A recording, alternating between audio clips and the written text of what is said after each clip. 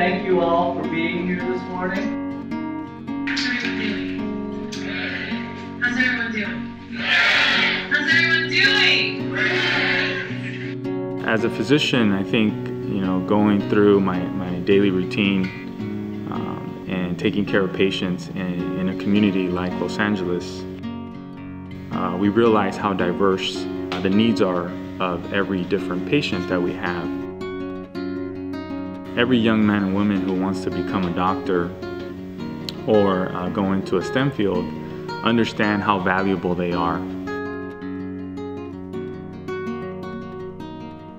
Hello, my name is Alvin Garcia. I'm a physics major and I did research at UCI. Hi, I'm Rosa Marietta. I'm a geology major.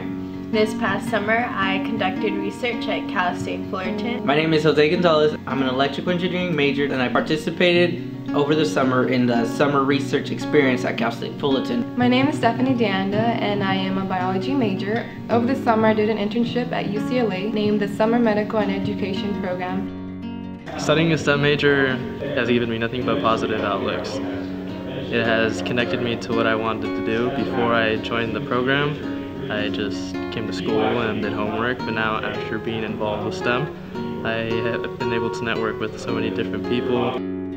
Through this experience working in the geology lab with Dr. Matthew Kirby, I gained quite the experiences through ups and downs working in the lab. Uh, through all the encouragement and uh, positive interactions through everybody, I realized that I can become a doctor. During these times, we've had various guest speakers like Dr. Alejandro Briseño, which really motivated me at a time when I was not doing my best at school and I had failed a year. Pretty much, I had failed two classes. But he really helped motivate me and made me understand that there's that there's ways to achieve what you really want to do. You just have to put your mind to it. And thanks to the STEM Squared program, I was able to hear motivating speeches by him as well as other people that really help encourage students. This is our second annual Fall Research Symposium, and this event is particularly special to us because not only do we feature a distinguished speaker such as Dr. Talamantes, but we also have an opportunity to hear from our STEM students who've been selected to either conduct research or participate in a special internship program at a four-year university.